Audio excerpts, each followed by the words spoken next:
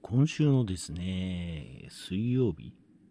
にですね、川崎競馬場ロジータ記念っていうのがあったんですけど、そこにですね、まあ応援してるっていうか、あのー、まあ、金沢の馬の、えー、生姜たっぷり。生姜たっぷりって多分、多分、小ってこっちの小のことをイメージしてんのかなと思うんですけど、まあ自分はなんか生姜たっぷりっていうところの吉永さんとかこう、生姜たっぷりみたいな、まあ、そっちのイメージを持ってしまうんですけど、まあ、その生姜たっぷりがですね、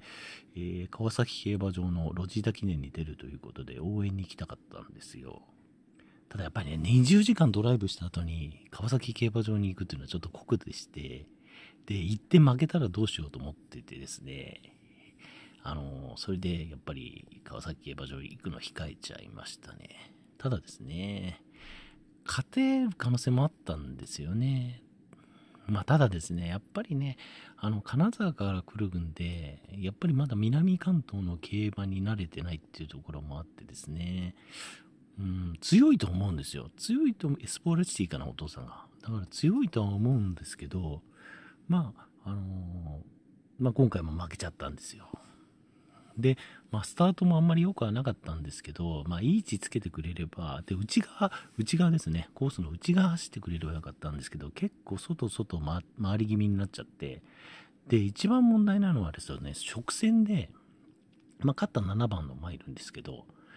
で、1番人気だった9番の馬がいるんですよ。で、ここに生姜たっぷりがこの後ろみたいな形なんですよ。で、完全に7番の馬から9番の馬に砂をかけまくってるんですよね。直線入ったとこ見てもらえば分かるんですけど。で、9番の馬、9番の馬で今度は生姜たっぷりに砂かけまくってるんですよ。で、その砂かけまくってるとさすがに馬だって目ん玉ついてるわけなんで、やっぱりちょっとプチプチプチプチプチって砂いっぱいかぶるじゃないですか。そうすると走る気なくしますよね、普通ね。だから、まあ、ここ、ちょ、こう、外へ出た時にすっごいいい足使ってるんですよ、実は言うと。だからですね、ちょっとね、この辺の真ん、ま、中ほど入って前に砂をかぶらなかったら結構いいとこ行ったと思うんですよね。まあ、今回5着だったんですけど、まあ、5着どころじゃなくて、まあ、2着もあったかもしれないし、俺か1着だったような気もするんですよね、乗り方次第では。まあ、この馬がね、7番の馬が、まあ、9番の馬よりは、うん、強いのかなっていうところはあったんですけど、まあ、まあ強いんでしょうね。前回も2着ですからね、トライアル。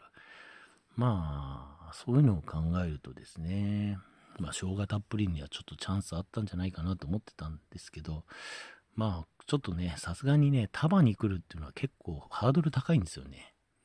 まあ、そういった点では、あの、なんだ、絶対的な勝ち方はでき、勝つ、勝つっていうことでできないかなと思って、ちょっと控えちゃったんですよね、川崎競馬場行くの。まあ、まあ、結局は5着だったので、